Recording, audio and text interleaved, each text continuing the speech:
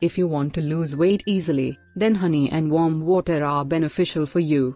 The regular consumption of honey and warm water eliminates the body fat at the earliest.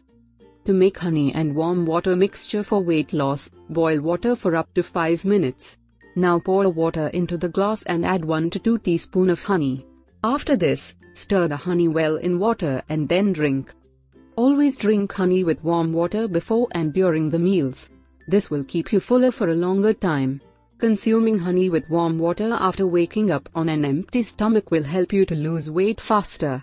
Instead of just consuming a plain glass of warm water with honey, you can also add lemon juice in it for better results.